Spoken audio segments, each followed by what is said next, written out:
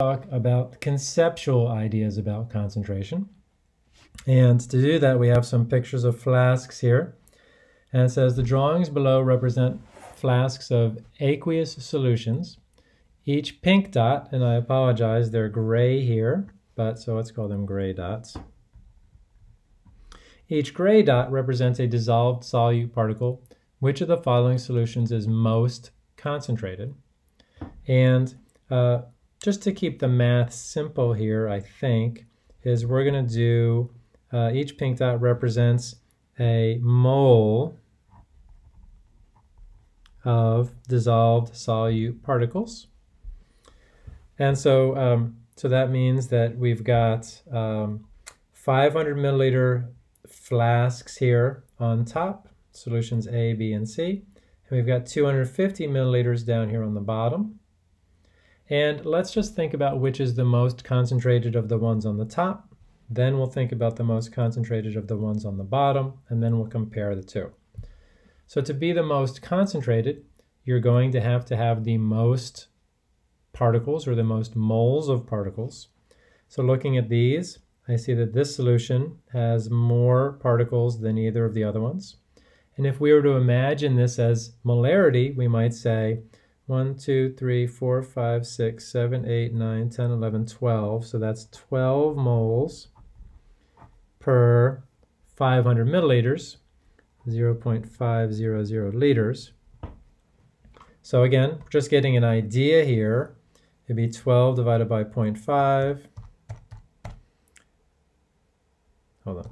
12 divided by 0.5 it's actually, in this picture, we might think of this as 24 molarity. Molarity. And that's going to be more concentrated than these other ones because these ones have smaller numbers of uh, dots. And you could calculate these, but they'd be smaller. Then we come down here, um, and we would look at the number of dots and it looks like this one has the most dots. So of these three with the same volume, this one would be the most concentrated. And to get an idea of how concentrated, so we can compare it to this one, which has a different volume, we count them up, one, two, three, four, five, six, seven, eight. We call them eight moles. And we've got 0.250 liters. 8 divided by 0.25. Yeah, 32 molarity of whatever these solutes are. And it's a little weird for me because um, I'm used to seeing something written right there, but I'm this is conceptual ideas, so I'm bearing with it here. All right, so uh, a couple things going on here. So first of all, this is the most concentrated one because you can see it's got the highest molarity. And then another thing is, if you were trying to do this, say, on the homework, since these are going to be uh, similar problems on the homework, then you want to compare both. Um, so it's easy to do these if they have the same uh, same volume, because then you can just count dots. But when they have different volumes, you need a method to evaluate them.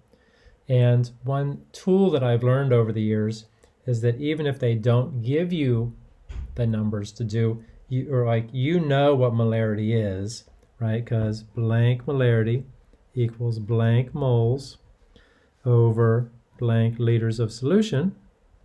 And so I'll write solute in here, solute. There we go. So you can plug in some numbers to get an idea, and that's what we've done. So 12 moles over 0.5 liters. Well, it doesn't say moles, but you could also just put 12 over 0.5 and get the relative numbers. That's what I mean by conceptual, is we want to be able to evaluate just on pictures. Let's try another one. Slightly different type of problem, but the same pictures, oddly enough. This one says, uh, represent flasks of aqueous solution. Each pink dot represents a dissolved solute particle, so same starting place. If you place solution D, which is right here, in a 500 milliliter flask and dilute to a volume of 500 milliliters, which flask best represents the new solution. And for this one, this is truly a conceptual one in my mind, because I don't think there's any calculations to do.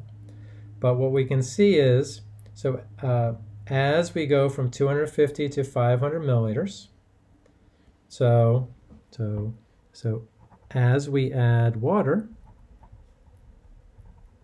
to go from 250 to 500 milliliters, the amount of solute does not change.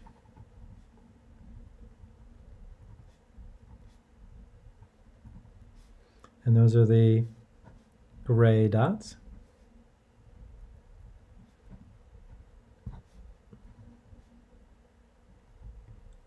Doesn't change.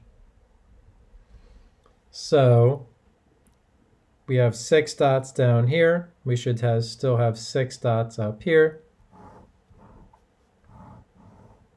And this one will be our answer. And that's a little bit more about the conceptual nature of concentration.